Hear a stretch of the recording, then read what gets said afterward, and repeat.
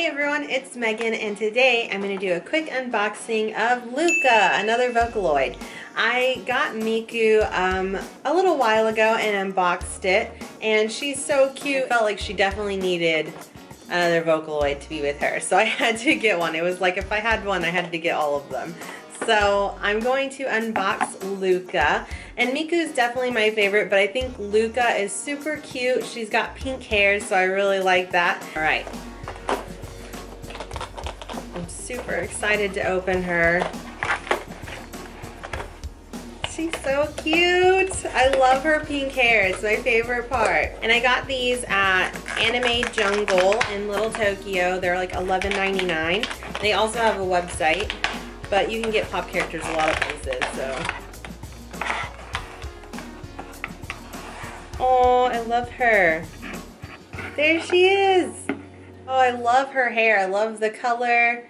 All the little details in her dress are so cute. And on her headset.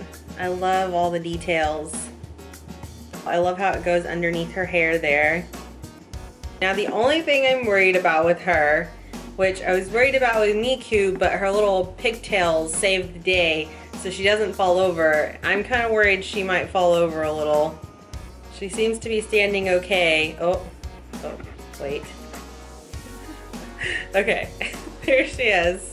So I'm a little worried about her standing up on her own because her hair doesn't really stop her from falling like Miku did. And I think all the details look really great. I've played a couple Vocaloid games and I think they're so cute. Miku, like I said, is definitely my favorite, but I think Luka is probably my second favorite because I do love her pink hair and she's just so cute. Oh no! I'm gonna have to like make something, like a little, maybe I'll do like a DIY stand to keep these things standing up because the ones with the tiny bodies like this are always falling over on me. I'm just gonna kind of show the back. Her hair is very cute.